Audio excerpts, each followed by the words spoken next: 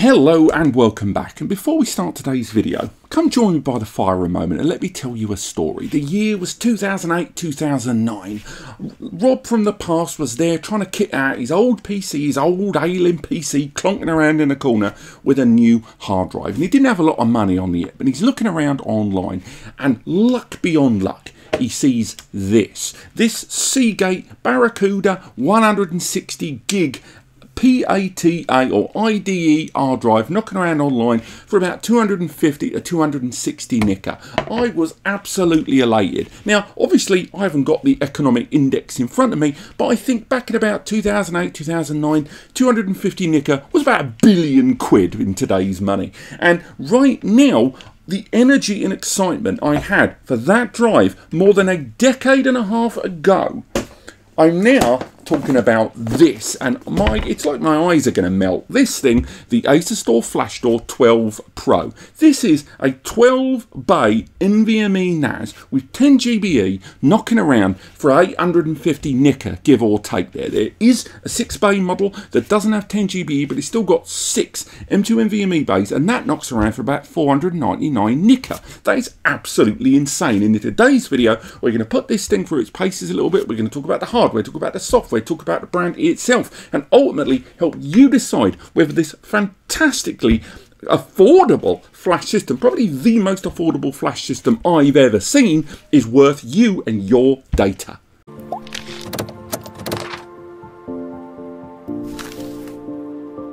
That is right. Today we want to talk about this from Asustor, the FS6712X, also known as the Flashstor 12 Pro. No, we're not doing that joke again. We've already done that in the before you buy. That's right, we've already done a video on this very system and this 6-bay already. It was a before you buy, a short form review before we get to really dig into the system. So if you're looking for a much shorter review, because you must have looked along the time bar by now and gone, how long? Well, we did do a much shorter version of this where we went through the five things we liked and the five things we weren't sure about in that video. It should be linked to the description, but this is a much deeper review than that. In this video, we're going to go through it all. But before we go any further, why is this such a big deal? Why am I going on all like that about it? Well, it's because when it comes to most users, be they home, be they prosumer, be they business, the minute you hear the word flash server, which predominantly means a server like any other NAS, but utilizes uh, specifically SSD uh, storage media, the word flash storage immediately adds zeros to the price tag normally. If you look at most, even relatively affordable flash server solutions in the market, the bulk of them start off in the thousands. They definitely arrive with four figures attached. And that's why in um, early 2023, when Asustor first revealed that they were going to be utilizing M2 NVMe targeted flash solutions in their lineup in a 6 and a 12 bay, and it started at 499 for the 6 bay and 850 for the 12 bay that was very that was a huge deal in a storage market because notwithstanding the fact that it completely smashed what the actual understanding of what flash servers cost on top of that this device now challenges the price tag of the bulk of hard drive related NAS solutions. To put that into perspective, if you look at say QNAP solutions that we've got around here dotted around, the majority of those run on a not dissimilar CPU combination and memory combination of this device. Further still, we can look at that. This is Asustor's own 6-bay, the Lockerstor Gen 2. It's got the same CPU as this, the same kind of memory upgradability, and although it doesn't have 10 GBE on board, it can have 10G added, and it's got four M2 NVMe bays along with those main 6 mays. This cost as much as this, give or take about 50 nicker. This device here, arriving with that scalability in terms of storage in 2023, but only supporting M2 NVMe, is genuinely game changing. But enough of that for a moment. Let's talk about what we get for our money. If we unbox it again, quite swish packaging, I would say. Asustor very rarely disappoint when it comes to the packaging of their solutions there. Um, we've got the device itself all bagged up right there. And again, I have already opened this for testing in previous videos. So again, normally it's presented ever so slightly better than I'm showing you right now. Um, inside with our accessories, got inside there, we've got an external cable here. And again, I'll double check the cat rating on that one. We are looking at That is right, we got ourselves a Cat6 cable, lovely stuff for 10 GBE. We've got our cable lock, we've got our instructions and first time information and the uh, information on the three years of inclusive warranty. Also inside our accessories box, we've got our external PSU, a 90 watt PSU. Again, it's not surprising at all that this is going to be an external PSU device given the scale and, you know, concerned about temperatures and stuff like that moving forward. We've got an external mains cable, but that's enough for the accessories, right? You came to this video to look at it. Let's have a quick look inside. Overall, the accessories pack is fairly standard there. And overall, I'd say the complemented package that this arrives with is fairly standard, particularly when you compare it against most domestic hard drive and even prosumer NAS systems moving forward. But I think it's time we talked about the design of this a little bit.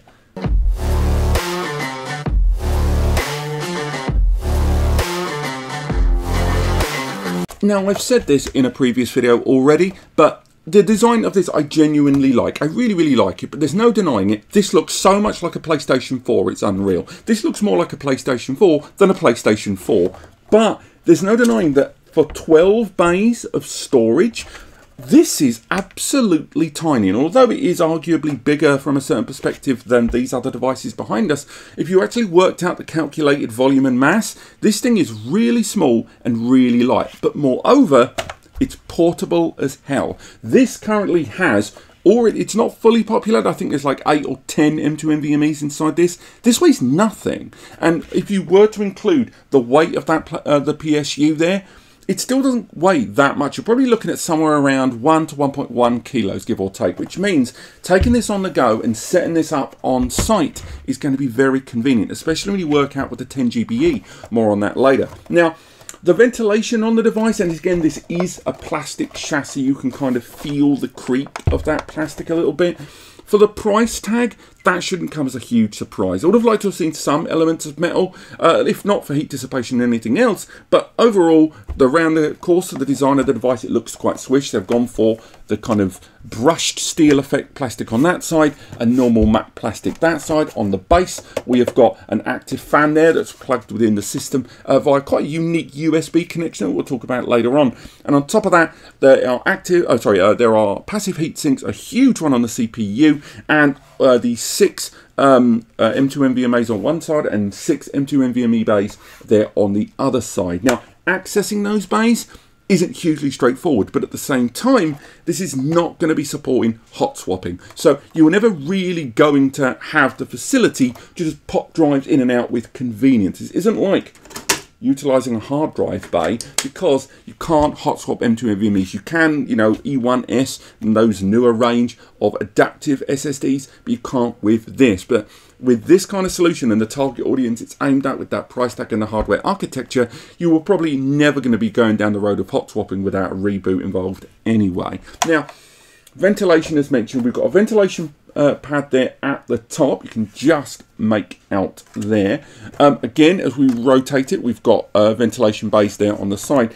On the back here, there's a very small amount of ventilation, but that's actually a covered fascia there, and we've got the power button. Really odd location actually for the power button being there. I'm sure there's a design reason for it, and when it light when it's on, there's a nice little red light when it's powered on.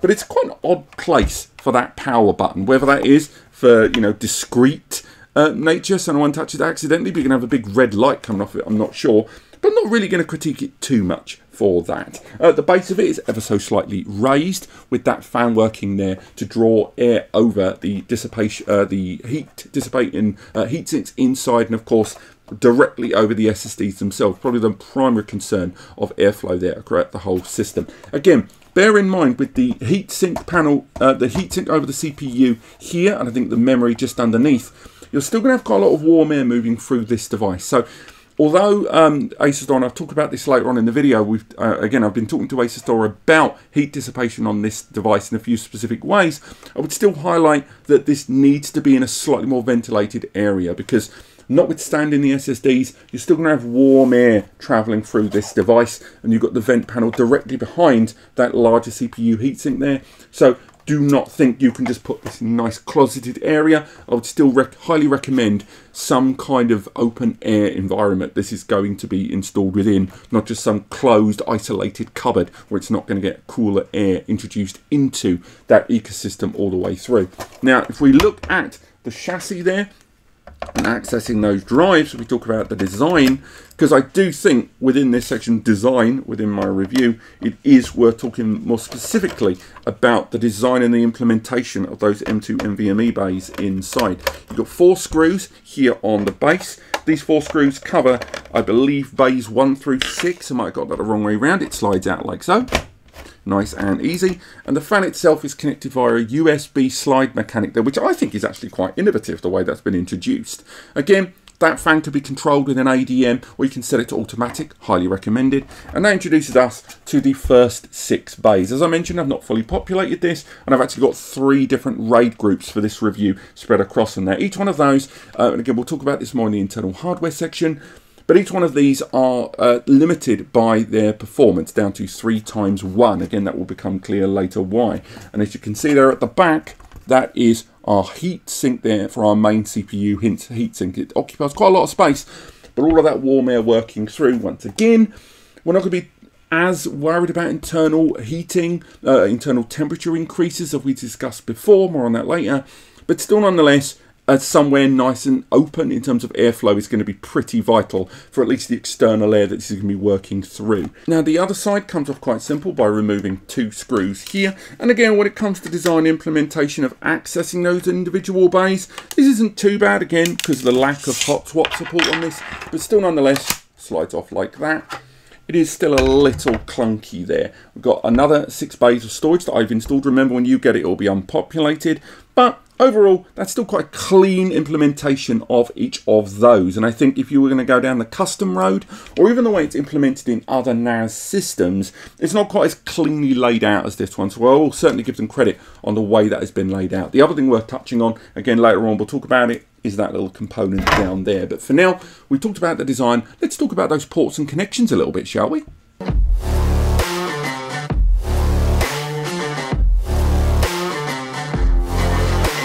Now the port and connectivity on this device, given its price tag, I would argue are pretty darn good. It's not perfect and there's a couple of critiques I've got for it, but for the most part, I'm really impressed with what I see here. Now to bring that closer, as you can see there along the bottom of the device, there's actually quite a lot of spacing there, and there's a couple of things that I'm surprised aren't present. Now let's get straight into the you know the lead uh, the lead of the show.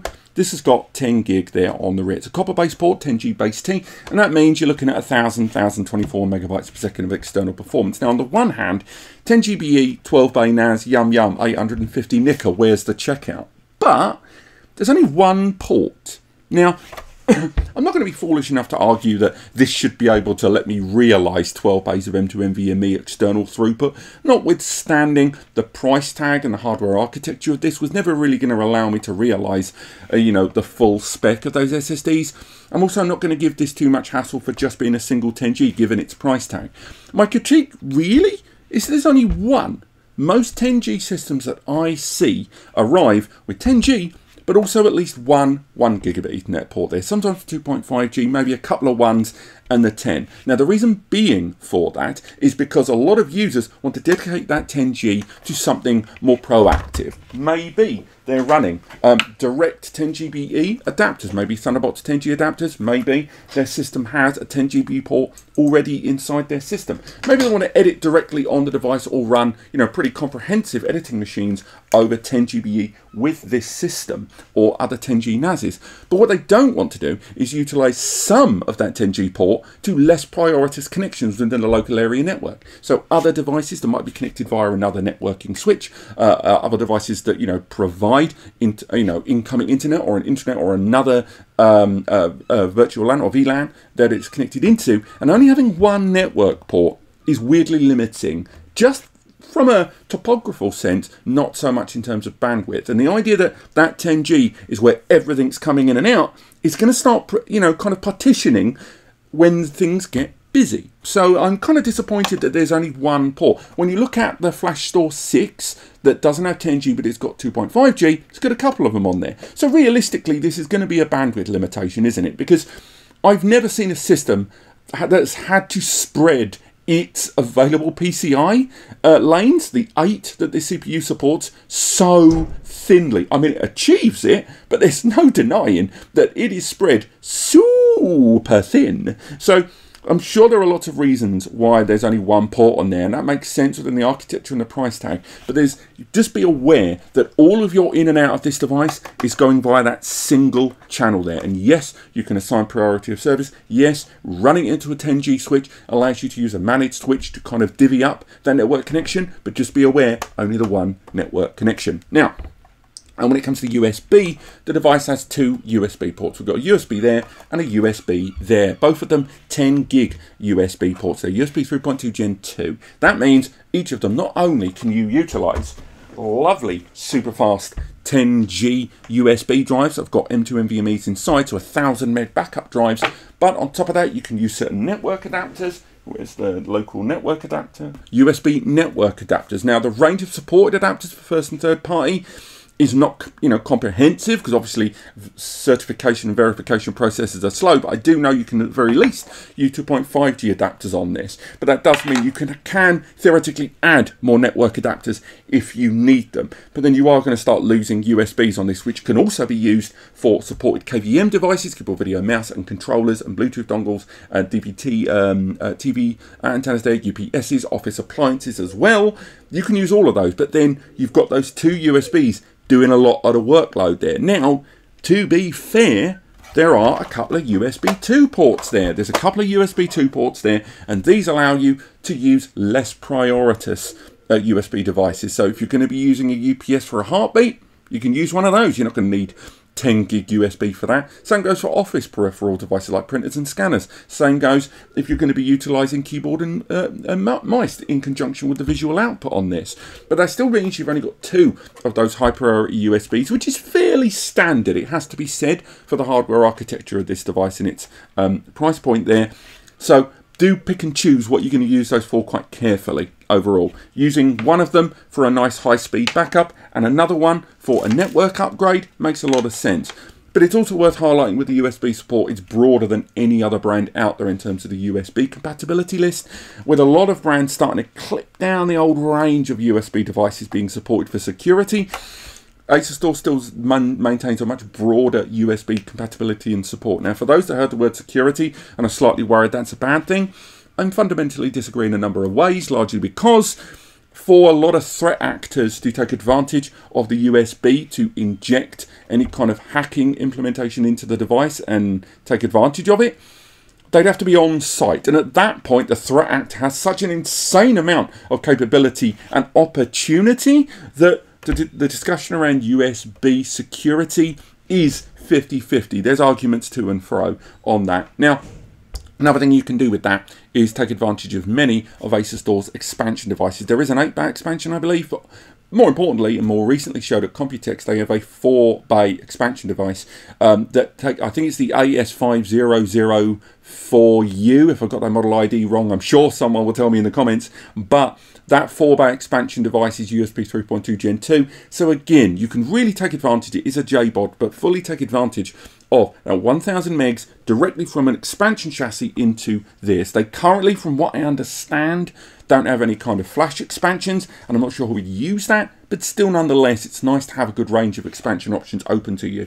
Finally, when it comes to multimedia, not only does it have HDMI um, 2.0B, um, again, 4K 60 frames per second, and I would argue better bandwidth management uh, for visual data into this than other versions of HDMI, but there's also the SPDIF port, port there for audio and audio files that really, really want to keep a substantial high quality multimedia selection of audio that can also, also be interfaced with existing premium audio um, playback devices. And again, direct output there with control and indeed third party control of some of the applications on there to enjoy your audio on this. And all of that combined with just a better KVM output than a lot of devices out there and support for multimedia makes this very, very attractive. Now, the hardware inside, it's not groundbreaking, and more on that in a moment, but still, for most you know, uh, modest users or any even people that take multimedia seriously but not at a high-end professional output editing level,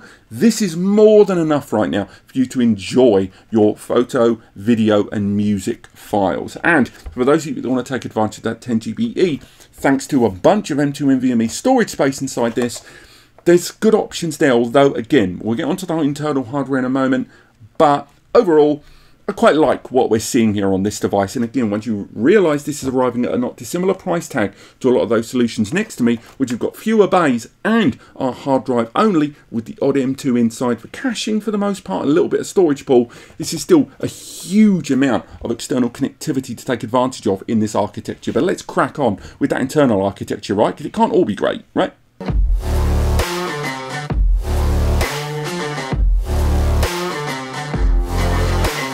That is right. We're getting on to the part of the video I would like to title That's the Catch. Because I think most users who have looked at this and its price point, and particularly those users that I referenced at the beginning of the video with regard to what the word flash storage means to most users, this part of the video is where you're going to feel a little bit more validated. And that is that this system running on an Intel N5105 quad-core Celeron processor inside with the CPU underneath there this has got that quad-core 2.0 gigahertz CPU that can be burst up to 2.9.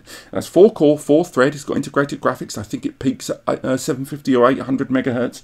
Um, and this also arrives with 4 gig of DDR4 memory that can be upgraded up to 16 gig across two slots there. The memory inside that it arrives with is a Pacer um, memory and it is 3200 4 gig SODIMM. They're non-ECC. So what does all that mean? Well, that CPU is Home Plus. It's early SMB. The majority of people that take flash storage incredibly seriously wouldn't give that CPU the time of day. But these are also users that either have the capability or are ordering behalf of others with a budget in the thousands. You could not get a Xeon for that price tag inside this. You certainly couldn't have the scale of this device with a Xeon, given the, uh, ne um, the necessary heat dissipation factors that CPU would bring into the fold. Now, that CPU is going to be good for Plex. It's going to be good for all of the Asustor ADM applications that we'll talk about later on in this video. It's very good for general uh, 10GBE access. It's not quite going to have the file um, server oomph of a Xeon, or even some of those embedded Ryzens which trade off against graphical manipulation in favour of just fast transmission and sustained performance, but it's still a very good CPU for general NAS use. And there's a reason why the majority of NAS brands, Asus included, have opted for that CPU in the last 18 months or so. However, because that CPU's only got 8 lanes to play with, as mentioned earlier on, all of these bays are 3 times 1. Even then, it's insane that they managed to get 12 bays of 3 times 1 SSD inside this. And a lot of it is thanks to a PCI bridge that's been introduced there, which, although it enables those extra bays, once again goes down the road into whittling down the maximum performance this is going to be able to achieve. Now, we've already discussed external performance and how having a single 10G there means you know, in the right setup with the right drives, particularly you're going to have to go maybe 1 TB at least per drive. Maxing out that 10G is going to be an absolute piss, uh, piece of piss. But when it comes to internal performance, you're not really going to have that external bottleneck, right? What's the performance numbers you're going to be hitting? Well, although our own benchmarking video is still in progress, and we'll do some preview of that later in this video, it's worth highlighting that it'll be very surprising if you can exceed two, maybe two and a half thousand megs. Not impossible if you gear it right with the right drives and the right environment, but don't think that just because each of these bays at three times one cranking out a thousand megs each and 12 of them instantly means you're going to be getting 12,000 megs. That is not the case. It's just simply not possible in this device. So you've got to remain relative. Now, on the subject of M2 NVMEs, because these are Gen 3, but they're going to be Gen 3 times 1, the usual culprits that you would buy online for M2 NVMEs, and when it comes to NAS, you've got WD's SN700 WD Red series or Seagate's Ironwolf series of NAS-based SSDs if you go down that road.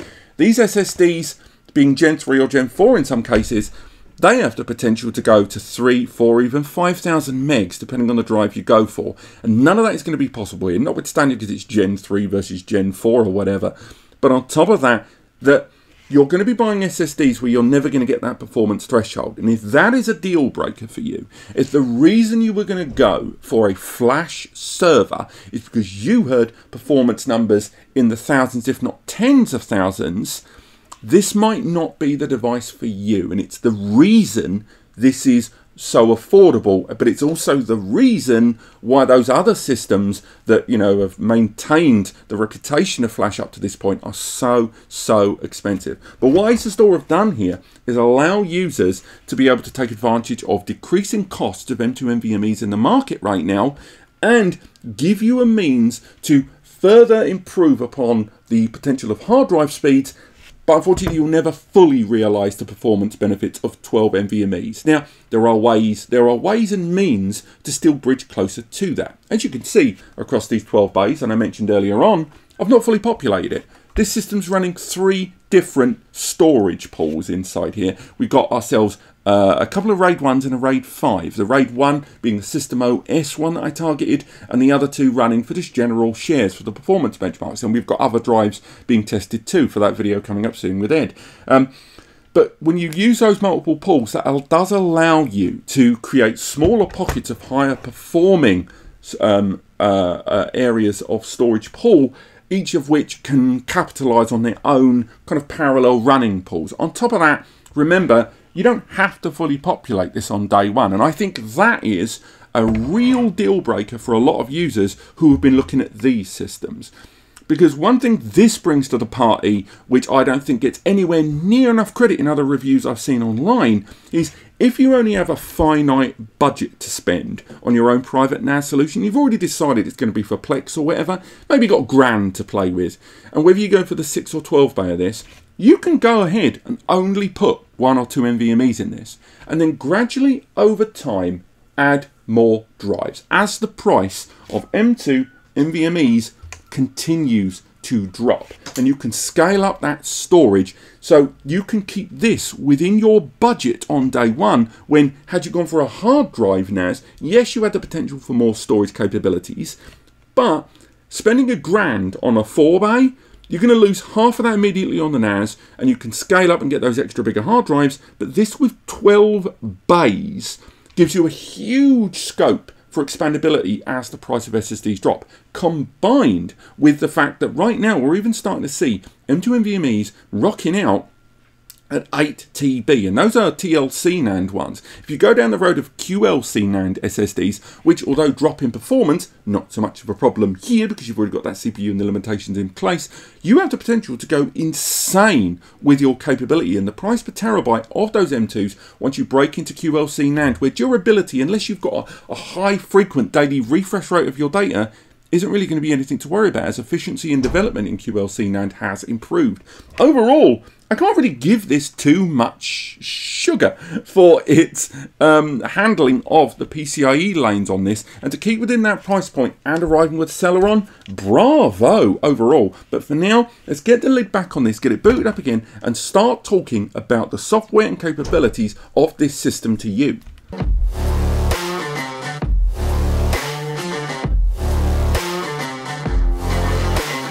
So, to really dig deep into the software you get included with the Flashstor, because remember, it is a full first party NAS OS you get rolled in with this device despite its modest price tag there, it would be longer than this video. Indeed, I've already covered it in other videos. I've done a full dedicated video on the surveillance software, and although we're going to touch on the surveillance later in this, I will highlight that this video here, linked in the description, goes through a lot of stuff from the mobile applications all the way down to the desktop tools you're going to use. And indeed, we've done two full reviews of ADM version 4 on two different NAS systems in the last 18 months. So although I'm going to do another dedicated video for the software on the Flashstor, which is just ever so slightly here off camera, it's worth highlighting I'm going to have to skim over things a little bit in this video when going through it, but I will touch on a lot of these details throughout the video. And also, as I alluded to earlier on, benchmarking for this device is still ongoing. And right now, Eddie, as you can see from a recording here from earlier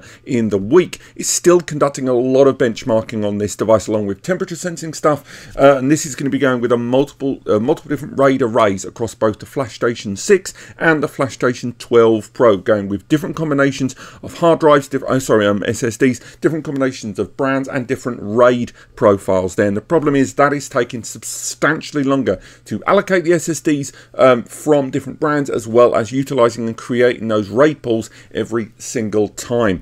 But I will say that at the moment, um, the hardware um, configuration that we're seeing here in front of us is just more and more showing us that that uh, kind of modest CPU we're seeing inside this device is resulting in performance as you can see here on the left hand side even early provisional RAID 5 testing with some very low end OWC SSDs we're still hitting around 1676 megabytes per second sequential read and we did get that as high I should say as about 1850 but I think we'd have to go for more bulkier SSDs and really fully populate the array to get higher than that. And once we got down to the 4K randoms, that's when we saw 3,000, oh sorry, 333,000 um, 4K random IOPS in read. But write is where it really suffered because in the terms of write, not only because of that three times one lane allocation, uh, whether you're going to go through that um, uh, PCI bridge there, but on top of that, just simply that CPU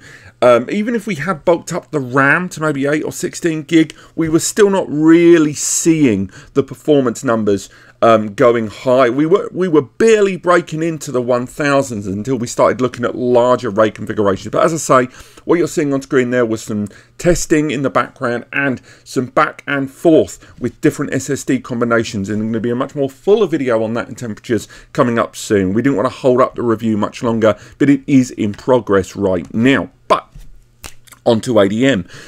So ADM, I would say, is better than it has ever been. And although I've talked about Asustor's um, NAS software several times here on the channel, I would say in this system, it's the best it's ever been, notwithstanding the range of applications and services that are included both on the first and the third party, but they have removed a lot of that third party chaff in their app center that has been there year on year in the past. They've every year minimized it down, and although they definitely exist, something I'll show you later on, there's nowhere near as many as there used to be there. And also, because of the hardware architecture of this device, not only does that mean you get access to the full array of applications and services that may not be included in like an ARM-based NAS like the uh, DriveStor series, where they have to remove some of the more comprehensive applications, but on top of that, because this is running on NVMe, the performance of those individual applications is substantially higher. Now, um, we've already created the login for this. Again, we've done setup videos for you to check out there.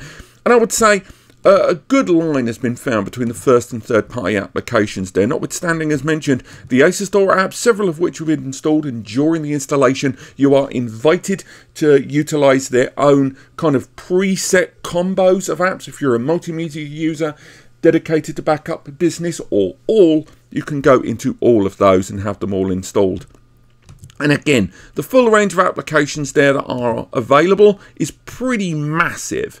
Um, if we were to focus, for example, just on the installed applications, these are ones that I've installed with the presets and a few ones that I personally would utilize on this system. And again, I'm running a lot of apps here, something we need to bear in mind later when I talk about the temps and when I talk about this system being utilized in a broader and larger fashion there. So for example, going through here, these are all of our kind of multimedia performance and backup applications we've got readily available uh, via the Asustor um, ADM uh, range of applications and services. So, so for example, you've got your inbuilt kind of uh, remote access backup uh, services there. And again, this is where slightly more technical options that have been presented pretty darn well. And it is a nice snappy GUI that we're utilizing there. Next up, if we want to kind of ramp things up a little bit, we've got application tools and services for um, the synchronization, of course, if we want to synchronize between our local client device and the system. And again, that's when you've got your file pinning, that's when you're using your OS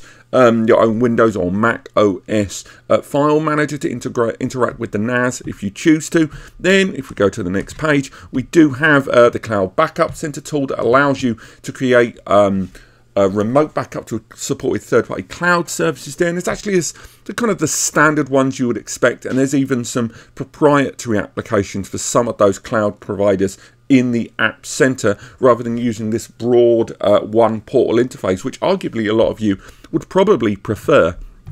Now, things like um, container management and virtual machine utilization, these are uh, the area where Asustor being arguably a comparatively, uh, comparatively smaller platform than the likes of Synology or QNAP out there in the market, are a little bit more reliant on third parties. Now, you may like or dislike that, but For example, they utilize the likes of uh, Docker and Portainer if you choose to, and you're going to need that to run a lot of those apps. Indeed, a lot of the third party applications that run on this system are in of themselves containers with a glossy little GUI on the front. So a lot of the time you're going to be using containers on this system not even realizing you're doing it.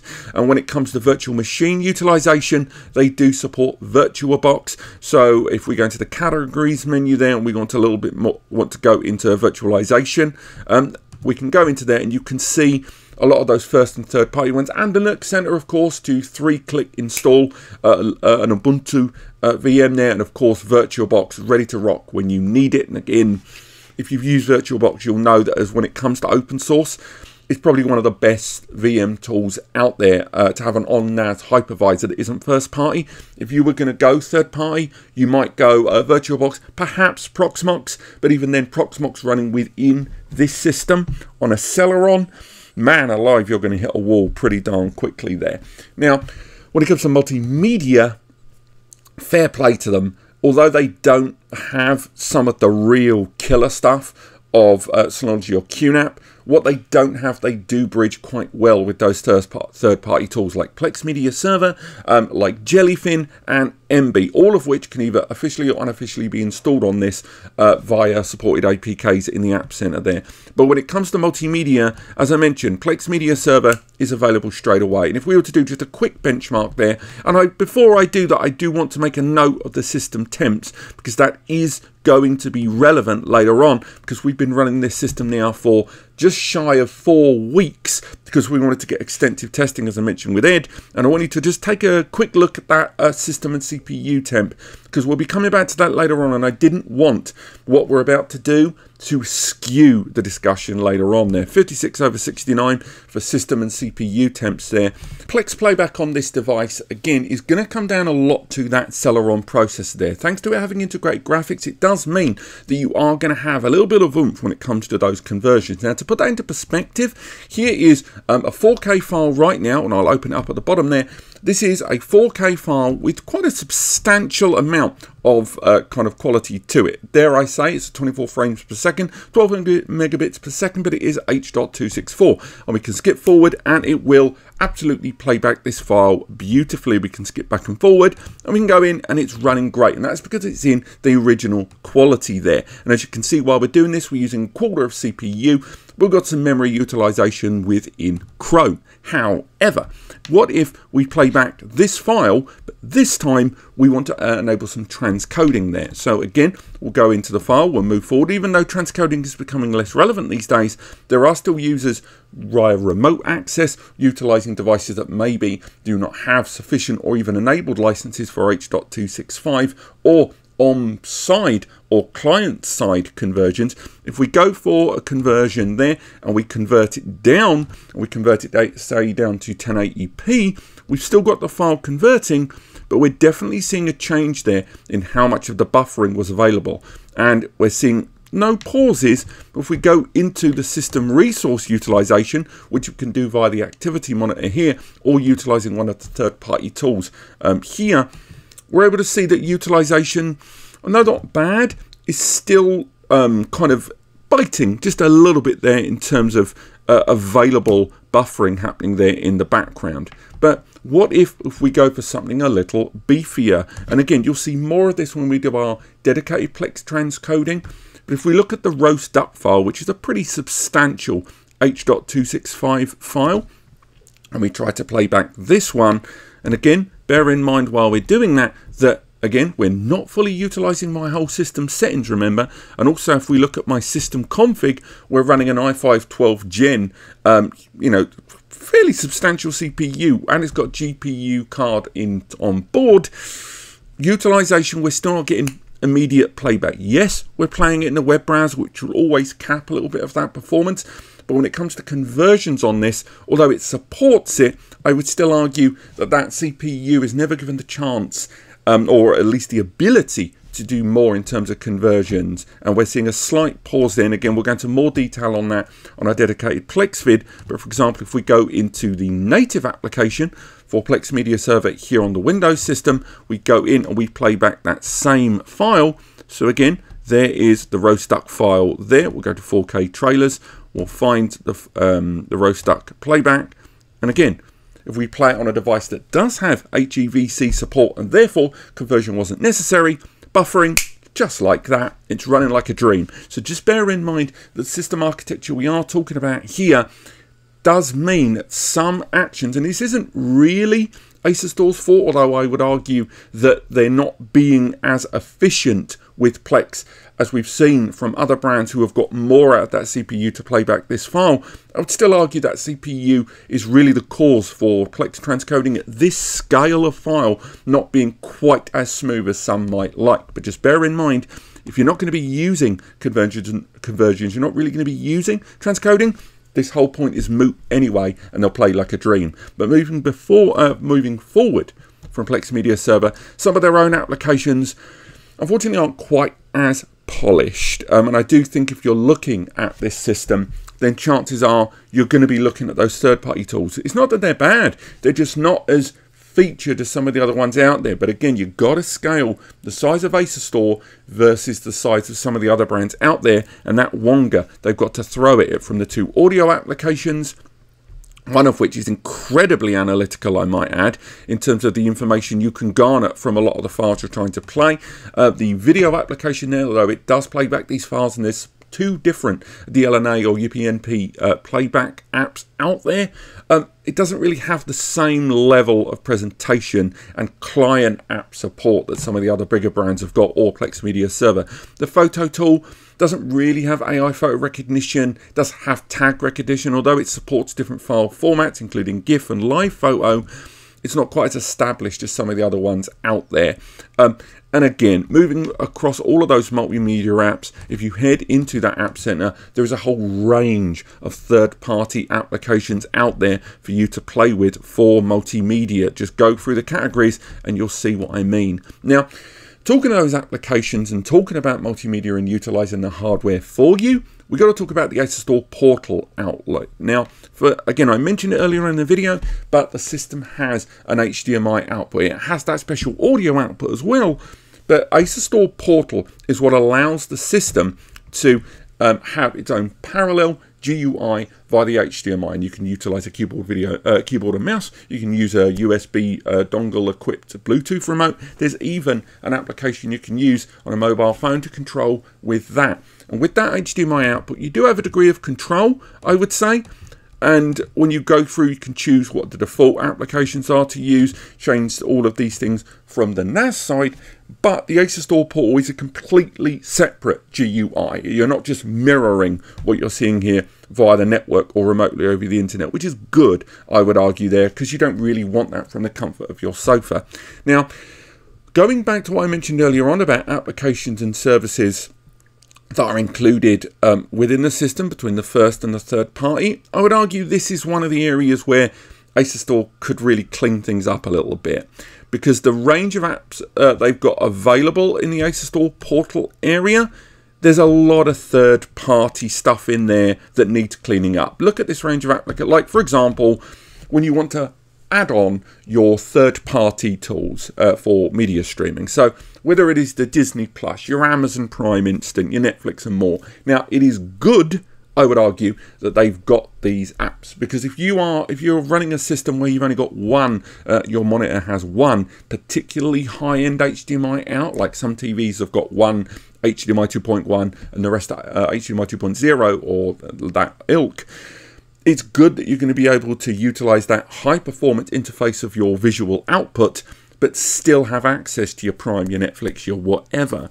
But it's still a very messy lineup of apps. They definitely cleaned it up. They definitely have. And there are more applications with HDMI out, but some of them I think could require more updates or better management. And I know they're third party, but a lot of the emulation tools to run uh, consoles from within the user, user interface and attach, you know, your you know your emulated controller of choice, but still nonetheless, the range of third-party applications does sometimes lead to a slight inconsistency of the services that are available to you. You know, enthusiasts, home labbers might quite like that, as well as the utilization of using a lot of those third-party container things there. But the more novice user is going to get overwhelmed very, very quickly, or just start installing things willy nilly, leading to a very inconsistent experience overall. And of course, we've got to talk about the storage management itself because if you're going to be owning your own flash system at this affordable level and the dropping prices of M2S NVMEs in the market, it's incredibly important that you're able to um, monitor and utilize your storage as best you can. And in the storage manager here, I would say it's one of the clearest UIs for this I've seen in a very long time. It's straight to the point. Of right there, we I've already created three independent volumes on this system that are spread across different disk combos there. Now the uh, storage pool volume relationship is not quite the same as other brands when you're setting it up and you're creating new pools. Um, I would argue it's a lot more streamlined. And again, whether you think that's a good or a bad thing is really down to you and your level of experience as an end user. Um, but I will add that when you are creating individual storage pools, yes, we're using NVMEs, but still nonetheless, it does feel quicker. It does. And you've got the choice of ext4 or, of course, BTRFS and the benefits they present there. But as you can see, we've created for our performance benchmarks, or at least the first round of them before we start using other SSDs, um, we've created different pools of BTRFS, ext4, and we've gone for different RAID combinations as well. And it's very easy to set those up and start creating your snapshots and your back-end backups with the other tools that I've shown you just now. Now, if we look at the individual SSDs, we can see the temps there because we should talk about the temps because it is something I talked about in my previous video when I did my should you buy before you buy video on this. And I did show concerns about the system and its temperature and particularly with reference to those SSDs because I was concerned that ASUSTOR did not include M2 NVMe heatsinks on a 6 and 12 bay system despite the fact they were um, kind of throttled or bottlenecked, if you will, to 3 times 1 because of the CPU architecture there. Now, massive credit to ASUSTOR because they did, after my videos you can see here, hopefully YouTube doesn't get on my case about this, did do a follow-up video on their own channel highlighting my concerns there and addressing how they were putting the system with some RAID scrubbing in their own temperature monitoring area and just ultimately showing that these SSDs during RAID scrubbing, how they capped. And remember, as long as your SSD uh, doesn't go over about 70 um, C, you should be fine. But another part of my concern that I touched on, which is why we're doing another video in the background, and honestly, we do not have the full answer in time for this video at all, um, was to do with, and it's closed that there, um, just the general system temp. When I was talking about utilization uh, of cooling in this system, and we're going to bring it up here, um, there is that base level fan underneath. But we have to bear in mind that we've got 12 bays of storage and a CPU fan inside this system, which has an enormous heatsink. But we're quite heavily reliant on active airflow on this system. And again, it's not a system that's feeling out of this world hot. But I think a number of people, myself included, were wondering about the general system temp of the device. Now, when we do our temp video, we're going to be pulling the SSDs that have been inside this for weeks and using Crystal Disk to look at their temperature over that extended period to see how they all did. But it's also worth touching on the CPU temp as well. Because when we look at the system information during that time, we're able to see that the CPU temp is at 71 here. Now, if we ignore the system temp just a tiny bit, we won't, but it's still a little bit high, I would argue, for a system temp. It's not bad high. It is definitely not bad. 56 is fine, but it's at the slightly higher ebb of fine. And when I've talked about um, other systems, say this QNAP here, that we've had on for quite a while, and here we can see the CPU temp at 46, I'm uh, sorry, the system temp at 36 and the CPU temp at 46, we can see that again, the CPU temp there is markedly higher. That was why I showed you the temp earlier on before we did our Plex test. I wanted you to know that this system has been running in the background of a lot of videos in the last three weeks. You've probably seen it about there in the background running. And during that time, we've seen that CPU temp live between 60, I'd say about 55 and 70 consistently, which I know seems like a large margin there.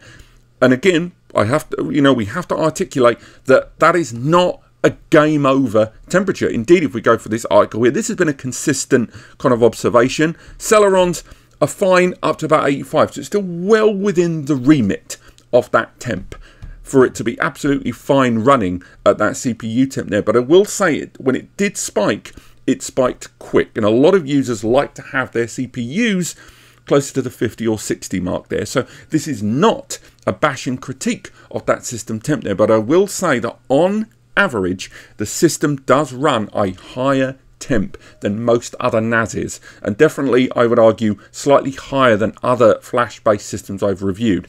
Definitely not in any kind of danger zone, but if you are an absolute stickler for temps, just be aware this will run a little hotter than some of the other devices out there. And finally, when it comes to client applications, again for mobiles and desktop, as I mentioned earlier on, there's actually quite a few available. If you head over to their own site, they've got downloads there for the most recent version of ADM, but on top of that, you've got some of those client applications for desktop. I will say that it's much more skewed towards Windows at the moment than it is Mac. I know Mac is a little trickier to develop for and get licensing for in some cases, but if you go into the app area, you can download pretty much everything straight off the bat there. Some services on the Flashstor, I would argue, definitely run better when you're using the client app. Case in point, the most common example, and it's one that I touched on in my uh, surveillance video when we were looking at the desktop client and the mobile client for their surveillance applications.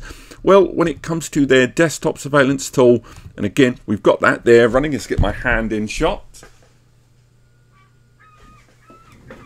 They do tend to run a little better with the desktop applications overall, but still, I think a lot of users would quite like to see kind of um, improvements on a lot of those apps because some of the design is just ever so slightly dated in cases. And again, I know there's an extension to what a brand can spend on upgrading and kind of flourish with a lot of their apps and services there. But there is definitely a feel on a lot of the design of the applications that they could serve to be just a little bit more modern than they are. But let's wrap things up. When it comes to the 10 GBE performance of the Flashstor 12 Pro, again, it's going to be very hard to give you a realistic interpretation of it because of the drives that we're utilizing for this section of the review, because we were doing lots of benchmarks there in the background, and as you can see, all of these drives that we're utilizing are much, much smaller OWC drives for the most part, and although we've got a couple of mid-sized drives, the bulk of which within the RAID configurations, we've gone for a combination of smaller drives, which was the only ones we could secure for the review at this stage. So at the moment, what I've done is gone ahead with this device and I'm utilizing a Thunderbolt to 10G adapter that is directly connected to the single 10G interface here of the Asustor, as you can see there, as I desperately try not to disconnect it. Hence why you can hear that background hum while we're doing this.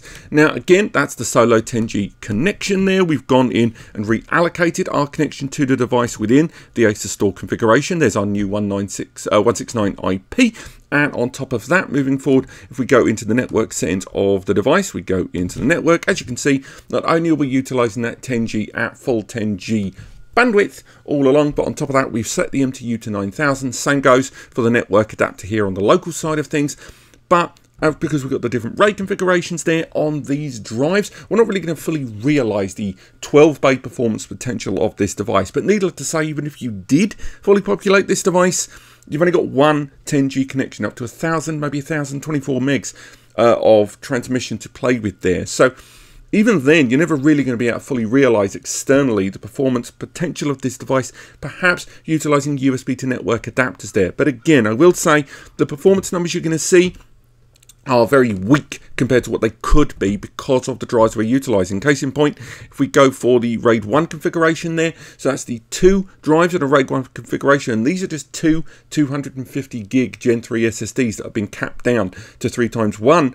And again, we're not using any kind of background caching there, we're going to go for continuous running, we're not using any localized cache, just read-write test there on a 256 meg file. And if we run that test, again, we're getting only 6, 600 over 700 or so there. Let's go for a run continuous there while we're rabbiting. So although that performance number doesn't seem great for this Flashstor, one, you've got to bear in mind the drives that we are utilizing for this stage. And again, we're going to do better ones, better drives for the full benchmarking.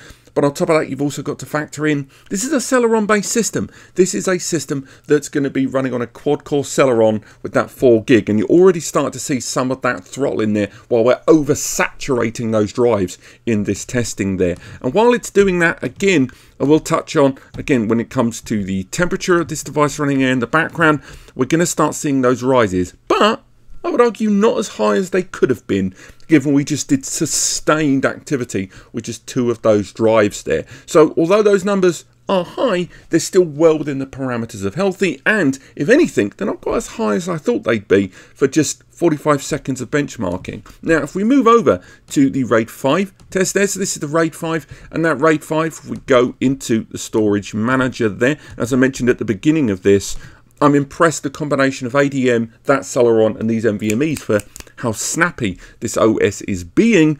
Um, if we look at the RAID 5 configuration there, and you can see that RAID 5 configuration there is made up of five of these lower capacity, low performing SSDs there, and it is running on an EXT4 configuration. So if we switch over to that for our RAID 5 test, same thing, and we scan that through, again, relatively modest numbers overall. But unfortunately, because of those drives, we can't really overtly test that. And as mentioned at the beginning of this software side, Ed's doing more comprehensive and detailed breakdowns that we'll put on the channel later with different SSD combinations, different RAID combinations, and all of that, hopefully with the temp testing in that video and more. Not breathtaking numbers, it has to be said. And these are large blocky data as well. So if, even if we scale that up to maybe a one gig file to get a truer representation of sequential read write, these numbers are still not going to blow, you know, five, ten grand flash servers apart. But the point is, it was never supposed to. This is supposed to be an entry level flash system as the cost of M2 NVMEs come down and users want to be able to see is their viability in getting a NAS and ditching slower hard drives and opting instead for faster and now slightly more affordable M2 NVMEs. But let's head back into the studio and summarise today's review.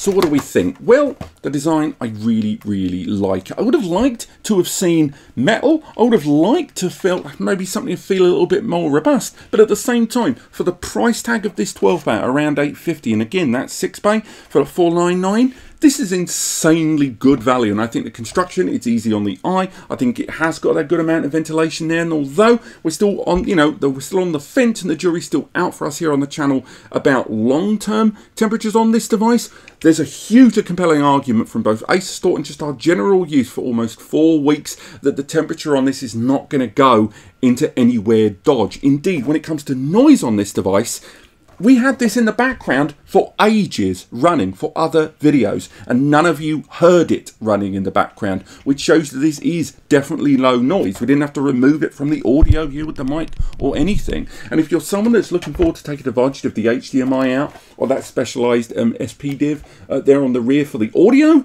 you're someone that's going to want something powerful, quiet, and fast to enjoy your video, enjoy your raw, intense audio FLAC files, and this is going to be very appealing to you. This arriving at that price tag again, that price tag again about 850, 860 with 10 GBE on board for 12 bays of NVMe storage.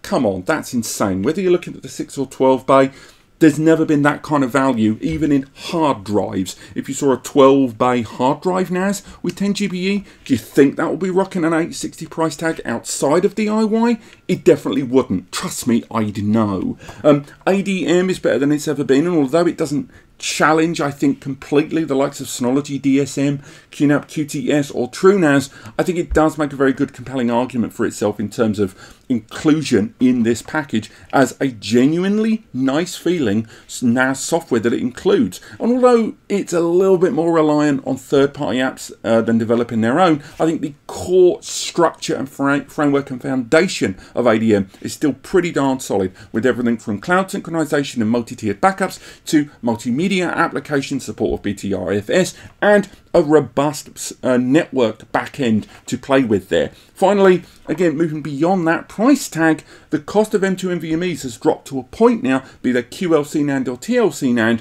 that makes getting this and partially populating it and gradually upgrading over time a great deal more palatable. And RAID expansions are a thing that are supported on this device, although things like hot swapping are not. Now, not it's not going to be for everyone. I think Loads of you that think this is some quick fix, get out of jail free card, I own a flash NAS, I want super performance, have to keep things relative. There's a reason for that price tag, and that CPU is a big part of it. This ain't no Intel Core or Xeon. You've got eight lanes to play with, and this thing is squeezing the living heck out of those, particularly with those Gen 3 times one slots for those drives, and six of those running through that bridge there. Now, the single port Oh, there on the rear, that 10G, it's good that it's 10G. I don't like that it's only one port, but I'm sure there's lots of reasons for that.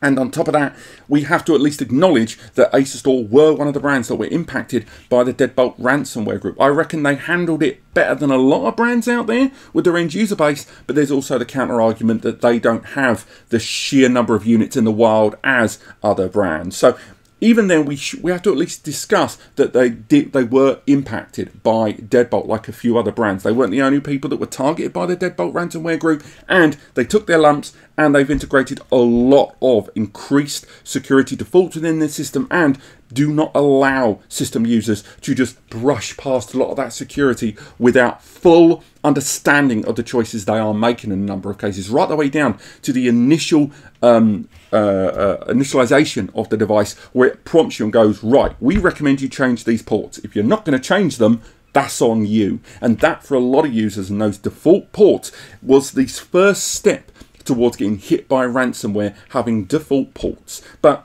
overall, I really like this device. I think it's, if not the most exciting NAS that Asustor have released in their entire history, in my opinion, it's probably one of the best NASes, it's potentially one of the best NASes of the year for me. But I'm going to hold off full judgment until we do our full benchmarking and temperature testing on this. But apart from that, I hope you've enjoyed this video. If you have, let me know in the comments. As mentioned, there is a shorter form review uh, link below where we, I think that was about three weeks ago that went out and I recommend you check that out. If you want to learn more, we've done a full review with lots of close-up photography and we'll be issuing the benchmarks as they happen in that article below. If you want to learn more, there's links towards more Asustor reference stuff and some of the other videos and previous stuff that we've done with regards to the software, the surveillance and more that you can check out.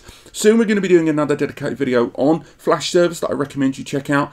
And on top of that, if you're on the fence about buying a NAS solution, you're still not aware where your money can get you these days or what's the best solution for your needs, use the free advice section, the big blue button on the right hand side of NAS Compares, or use our free community forum, Ask NAS Compares for answers to your questions, or you can use our Discord to get answers from other members of the community and me and Eddie. I'll be honest, more Eddie than me if I'm honest. I'm busy doing this. Um, on top of that, if this video has helped you decide on a product that you were going to buy and you're going to shop at Amazon, Scan, B&H, Newegg, any of those websites, if those two things are true, then please use the links in the description to take you to those stores. Notwithstanding, it's not going to cost you anything to click that. They don't harvest your information. But when you use those links, anything you buy, and I mean anything you buy, results in a kickback to me and Eddie here at NAS. It is just the two of us doing two, now close to three articles a day and a video every day. So that allows you to passively support other content creators. It's just us here and we love doing what we do and that really helps us. But apart from that, this has been a review of the Flashstor and I'll see you on the next video.